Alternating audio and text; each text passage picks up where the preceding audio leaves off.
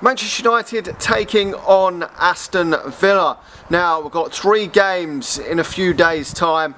Really difficult period in terms of Manchester United's squad and overall depth. Now we've seen other teams fuck up. We've seen Leicester fuck up. We've seen another top four challenger Tottenham fuck up. And it does look like Manchester United are certain to definitely get in the top four anyway. But look certain to finish second now with obviously that massive fuck up from Leicester last night. So it does look like that is done, but we've still got crucial games to play and there's no way he's going to rotate the squad and play a load of reserves but I'm hopeful that he will utilise the squad over these three games. It's just a bit of a kick in the nuts that we've got Leicester and Liverpool coming up on the horizon because there's no way he's going to rest and rotate so many key players for them games, certainly not the Liverpool one. And to be honest, I'll be happy if that game just got fucked off and we just and they just gave each team a bloody point, or even we fucking just row it off and we got no points because, to be honest, we we've got a Europa League final to worry about, and we're going to finish second regardless unless we get a points deduction for what we've done in the protests for the Glazers. But besides that, we're definitely going to finish second. So I don't really care so much about these games. Them games are just about pride now for me and for Manchester United. I want to go out there and win that Europa League desperately to end the season on at least a bit of a high for Manchester United. It won't be what we want to win. It's not the be, the be and end of, of where Manchester United go in the future, but if we can win that and then improve on the squad, get two or three good players in a first team regulars next season that are going to take this team to that next level, then that is where Manchester United need to be.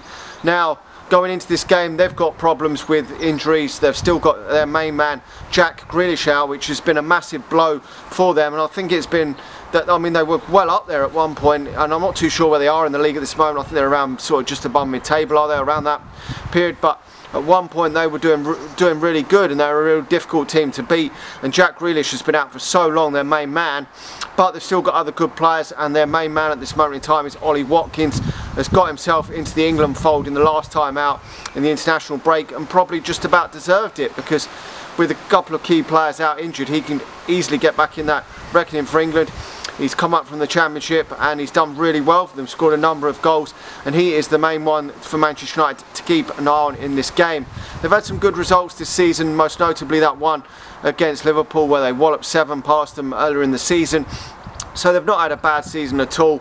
But Manchester United have got to go into this game as favourites. If we can get this job done in this game, we won't need many points to actually secure that second position mathematically. I think we only need about a point against Leicester then to actually mathematically claim it. So I'm expecting changes in this game, but not so many changes there may be changes later on in the week against Leicester if, or, or maybe there might be a bit of rotation against Liverpool if Liverpool can't get the get in the Champions League. If they drop any points this weekend and can't get in the Champions League then that'll be a dead rubber anyway. And both teams are probably not going to be that arsed. There's not going to be the edge on it that there was. I mean it's a midweek game so the edge is taken off it anyway.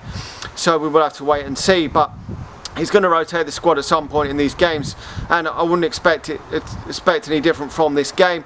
Uh, De Gea will come out, Dean Henderson will be back in goal, be the usual back four. I was surprised Bailly coming in the week, but he didn't look good enough to me in that game. Just too many injury problems for him, and I, I just don't see why we've given him a new contract, to be honest, unless we're looking to sell him and we feel that we can get more money giving him a longer deal. I'm not too fucking sure, but he, he doesn't deserve one on the basis of his injury problems, but it should be Lindelof Maguire then it should be Wan-Bissaka and Shaw as the fullbacks. The fullbacks come off at half time in that game, so they're rested, ready for this game. Then it's going to be back to Fred and McTominay in midfield. I reckon someone else is going to come out in the in the forward positions. I've got a feeling it may be Pogba actually comes out. Rashford goes on the left, Greenwood goes on the right, and then you've got Bruno Fernandes and Cavani up front. But it could also be Cavani comes out for this one because we saw against Liverpool Cavani was going to be on the substitutes bench for that one if the team had actually gone ahead with what it was going to be. Or it could be Greenwood come out, so it'd be one of them three I think. I think Rashford will come back into the start. He's not going to drop uh, Bruno Fernandes for this game, I don't believe, but I think all them players will not play in all three of the games. Cavani, Pogba and Greenwood. I don't think all three of these games coming up against Villa, Leicester and Liverpool, I don't think any of them three players are going to feature in all these games. So but it is a bit of Italian. I, mean, I, I personally think it's going to be the Pogba or, or, Greenwood come out for this one because I mean Greenwood played the whole game midweek and Cavani did come off, so I would expect Cavani probably to start this one. But at this moment in time, he is in fucking fire. He is the main man Manchester United got to be looking to in this game if he does start in order to grab the goals for Manchester United to get us through this game. Now, I think he's got to start as number nine in most games, when Manchester, eh, certainly in the important games anyway. And this is probably the most important one, just to get the job done, to seal that second position almost for good, because then Manchester United can concentrate on looking ahead to maybe rotating for that Europa League final. And I don't think when Greenwood's played, I think it's one guy in 13, is it?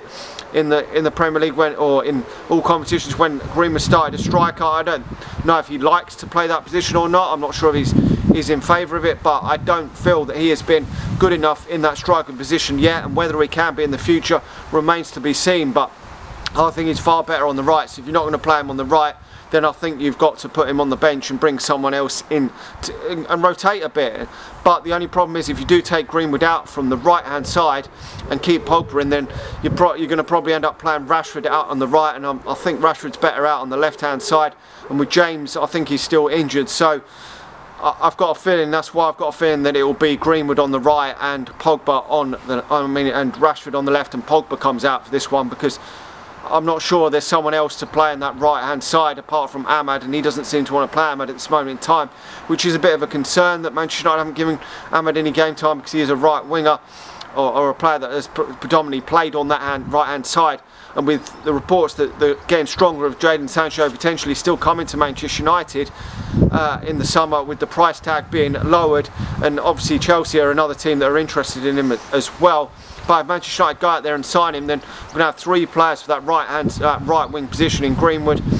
Uh, Sancho and Amad and you can only play one at a given time. Yes we need to rotate but does that limit Amad's chances of getting into the Manchester United team unless we play him in a different position maybe on the left hand side? I'm not too sure. We will have to wait and see there. But I think Manchester United have got enough about them going forward to get the victory in this game. I do. I'm not I'm not sure that Villa are going to going to be I mean they're still a decent outfit and they could cause Manchester United problems but our away form has been pretty good this season. Manchester United as I say Ollie Watkins being being that main threat up front for Manchester United we we've got a very good record a decent record over the years against Aston Villa so I'd expect that to continue in this game I wouldn't expect it to be a big scoreline for Manchester United but if we can just get the job done, tick over, get the three points and move on to the next one because the next two games are home games and there's going to be a lot of protests coming out, I believe, for, for them games. So get this job, get the job done of getting that top that top two position sealed before them protests come out against the Glazers because this could get a, could get a bit tricky in, in them games in Manchester United, causing a lot of problems going into them. Maybe the games could get delayed an hour or so against Leicester, I don't know. That's an earlier kick-off against Leicester at 6, I think, uh, 6 o'clock UK time, so there would be time if the game got moved to maybe move it an hour or so, but I don't know what's going to happen there. But Manchester United just got to get this fucking job done in this game. I, I, I believe we've got enough about us to get in behind, behind them and get the job done. Let me know your thoughts in the comment section below on this and what do you think the future is for Manchester United going into these remaining games? Do you think that maybe Manchester United could bring a number of youngsters in for the last couple of games?